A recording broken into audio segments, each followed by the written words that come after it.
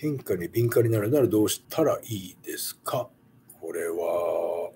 体の変化にということかな。これはまあ変化というか、要するにトレーニングに対しての感覚というかな。まあよく言うのは聞いてるとか、聞いてる感覚でもやっぱりその人によってそれは違うわけじゃない。俺が聞いてるっていうのは、ただパンプしたというだけじゃなくて、体がこう発達するための聞いてるっていう感があるんだよね。これはもちろんこの発達してる感じの聞いた感じ。これが多ければ多いほど俺の体良くなるんだけども、これがやっぱり毎回来るようにするのが俺の